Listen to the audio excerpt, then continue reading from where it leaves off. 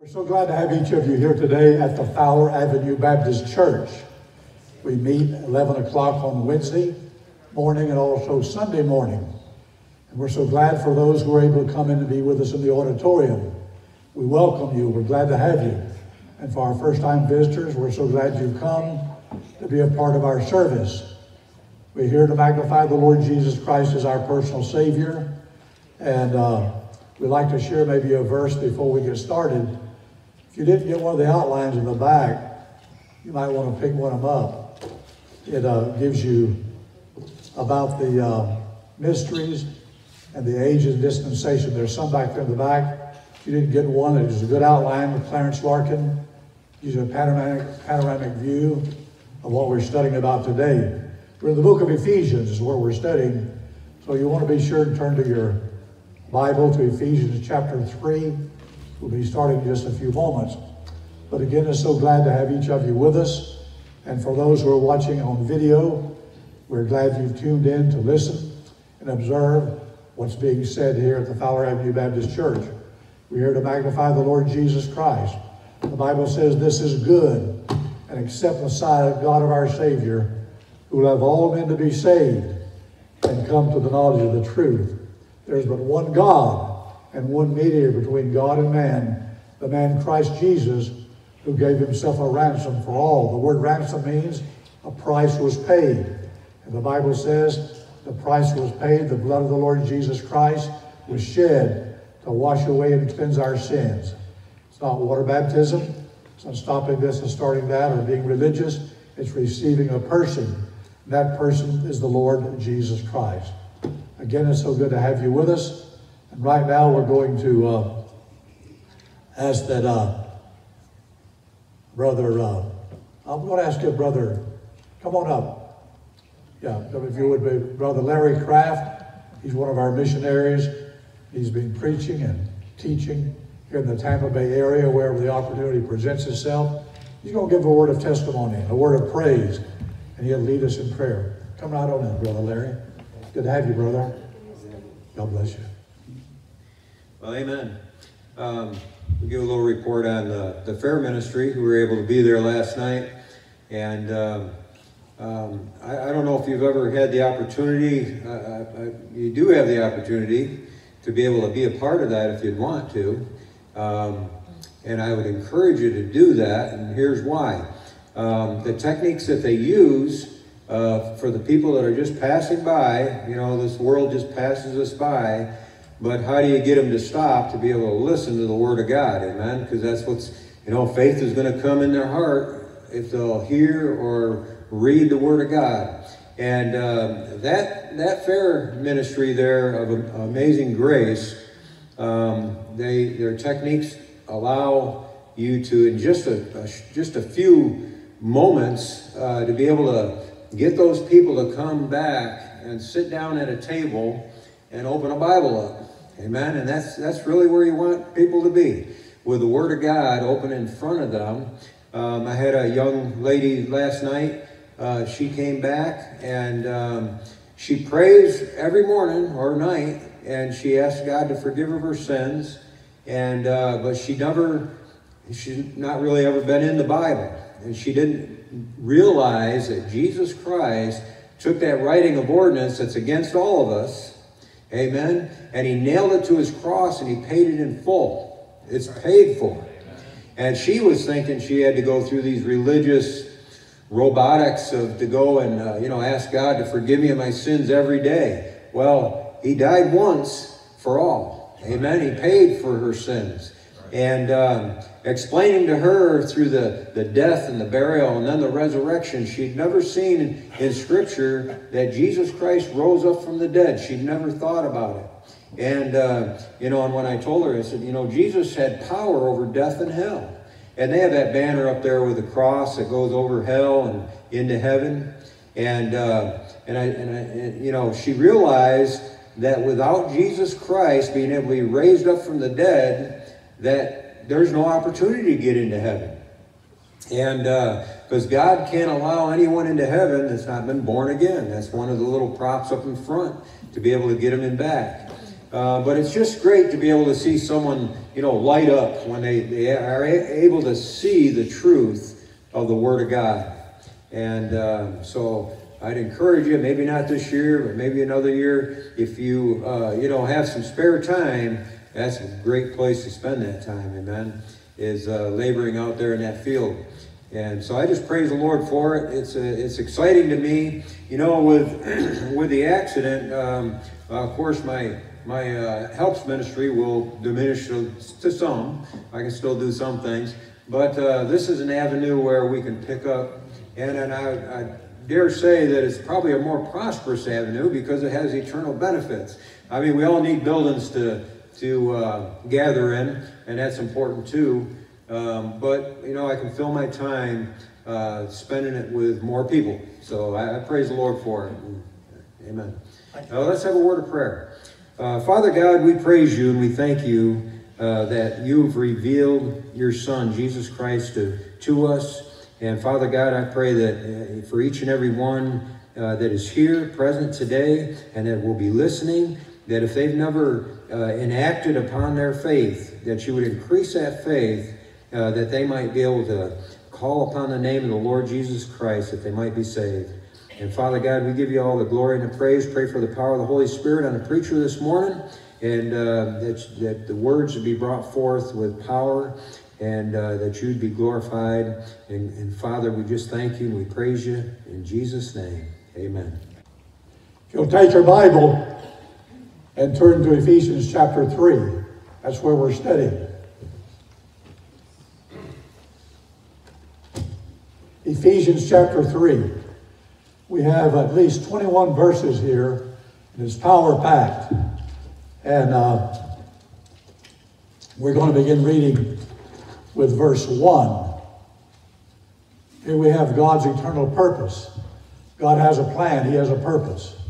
And God's purpose and plan was even before the world began, even before the angels were formed, even before God created Adam and Eve and men and women were brought into life. We find that God had a plan. That plan and purpose of God is to see that people get redeemed by the blood of Jesus Christ. And so we're going to read here in uh, Ephesians chapter 3, beginning with verse 1. For this cause, I, Paul, the prisoner of Jesus Christ for you Gentiles. If you have heard of the dispensation of the grace of God, the Bible talks a lot about grace, unmerited favor. God giving us something we do not deserve, we can't buy, we can't earn. God's grace is a free gift. He says, You've heard the dispensation of grace which is given to me to you. Verse 3 How that by revelation he made known unto me the mystery, as I wrote aforetime in few words. The word mystery is found two times here. One time it's found in verse 3, how that by revelation he made known to me the mystery as I wrote aforetime in few words. If you look down to verse 9, it says again, and to make all men see what is the fellowship of the mystery which from the beginning of the world hath been hid in God, who created all things by Jesus Christ in your outline here, we have, we find the prophets.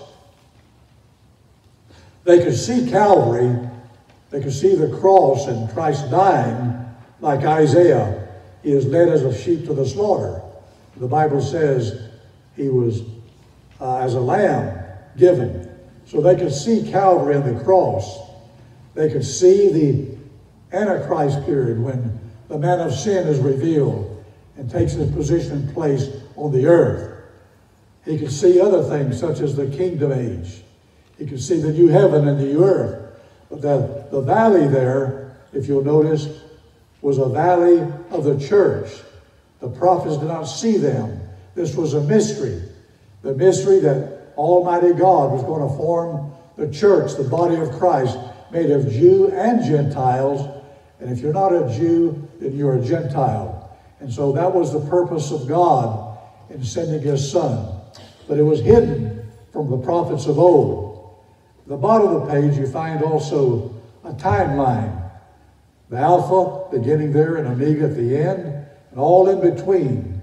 Find the time of uh, the Eden dispensation, where man fell, paradise was lost. You come on through to the very end, where paradise is regained when people trust Christ as their Savior. Tremendous outline that we want you to have and we place in your hands.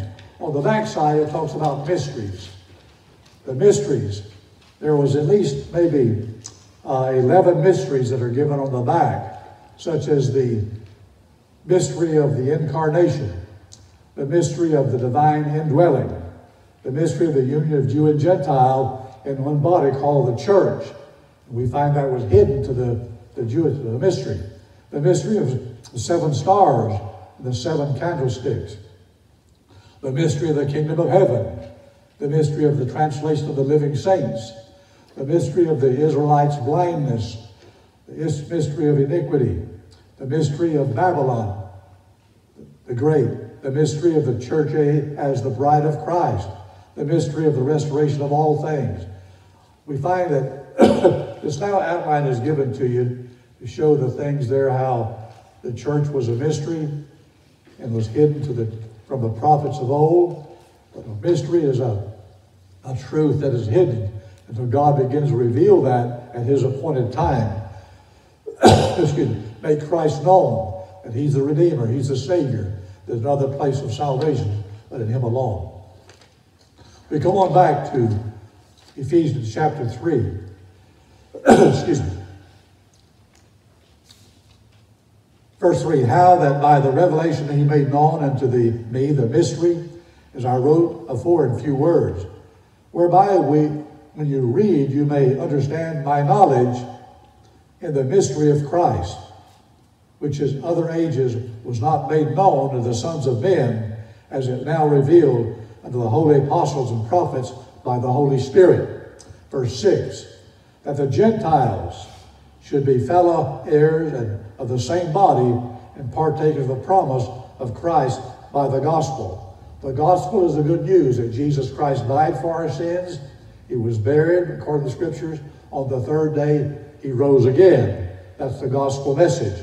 Verse 7 Wherefore I was made a minister, according to the gift of the grace of God given to me by the effectual working of his power.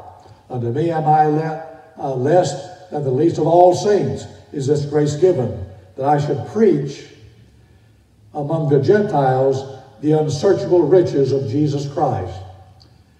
I was called, redeemed by the great.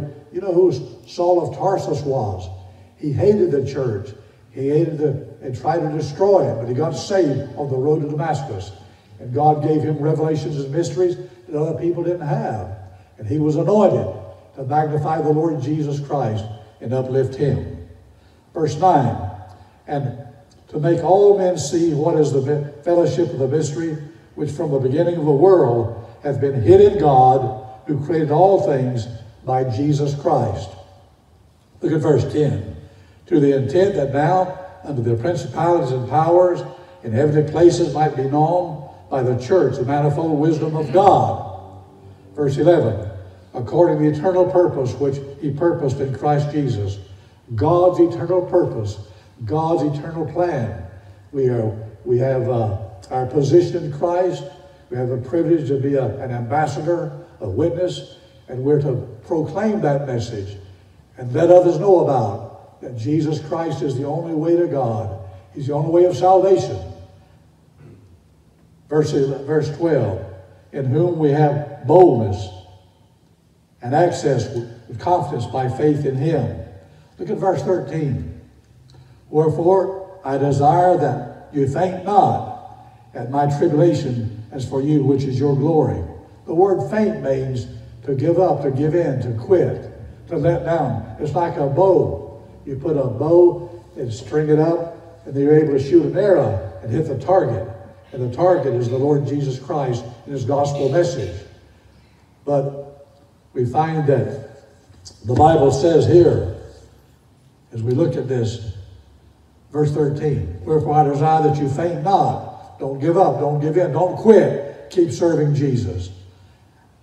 you at the tribulation for you, which is your, your glory. Verse 14, For this cause I bow my knees unto the Father of our Lord Jesus Christ, of whom the whole family in heaven and earth is named, that he would grant you, according to the riches of his glory, to be strengthened with might by his Spirit in the inner man.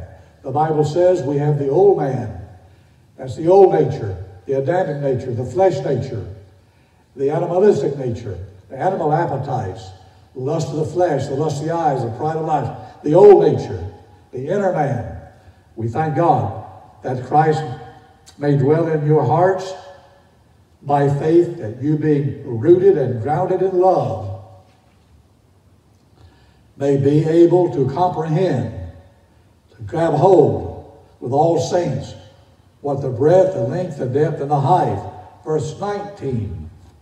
Look at it, verse 19. And to know the love of Christ, which passeth knowledge, that you might be filled with all the fullness of God. When you see Christ Jesus as your Savior, you have Christ as your Savior, and the Spirit of God living within you, your body becomes His temple, and you have the Holy Spirit of God who lives within you to motivate, to challenge, to strengthen, to grow us in the grace of Christ. Verse 20, Now to Him that is able to do exceeding abundantly all that we ask or think, according to the power that worketh in us. The power of God that works in us and through us, magnifying the Lord Jesus Christ. Unto him be glory in the church by Christ throughout all ages, world without end. Again, we're so thankful for those who are able to come today and be with us in the auditorium. We're thankful for those who have tuned in on the video. And we always take this time. I'm going to ask Chuck and Sandy to come on back up if you would. And they're going to sing one of my favorite songs in closing in just a few moments. My Anchor Holds. Tremendous song, tremendous message. But if you'll notice, we have here the Lord Jesus Christ who came, he died, he shed his blood. On the third day, he rose again. We thank God for that tremendous truth. Y'all come on up, Chuck and Chuck and Sandy, if you would, please. And we're going to kind of close this out as we have a, a lot of people who that are here today. If you never asked Christ to be your Savior, you doubt your salvation, sell it today. Drive a stake down. Say, this is a day I'm asking the Lord Jesus Christ to come into my heart and save me. I'm not trusting religion. I'm not trusting the preacher or water baptism. I'm trusting Jesus Christ as my Savior. That's the message we have that we lift up. That we trust Christ as our personal Savior. We thank God for that. So we're glad that you've come today. And right now, Chuck and Sandy's going to come. Ask Steve to come on up too, if you would, Steve, this time. They're going to sing My Anchor Holds. Praise God.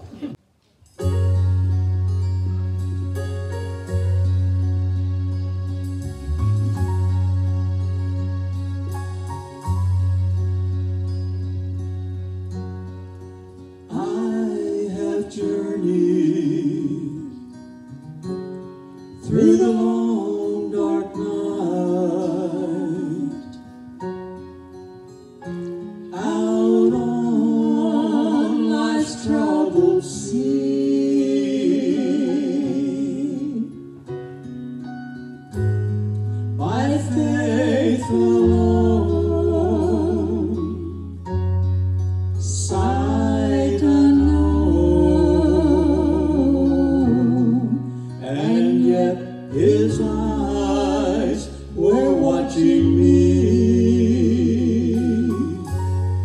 of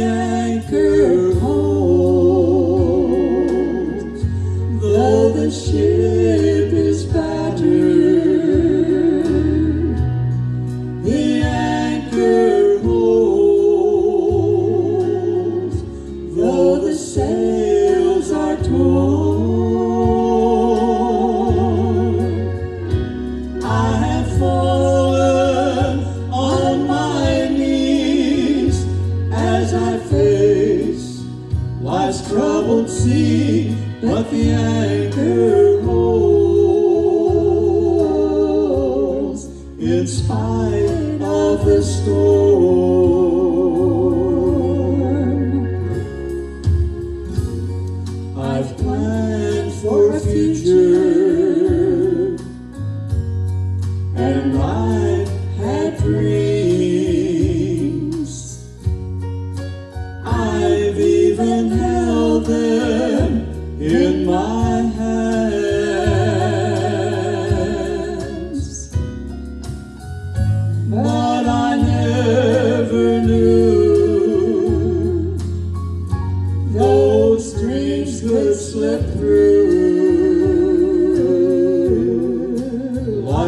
they were only grains of sand.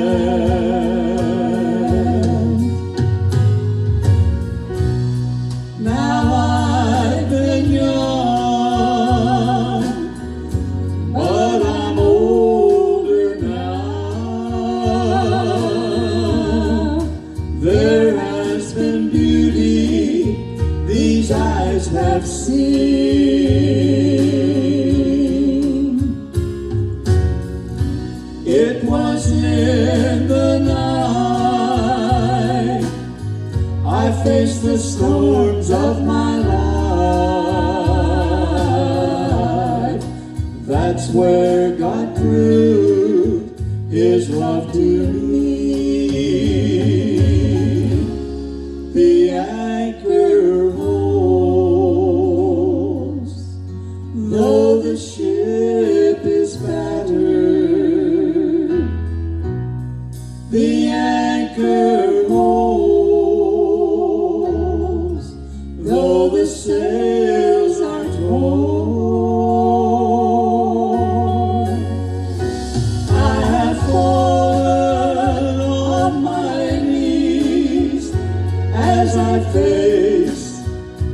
Troubled sea, that the anchor.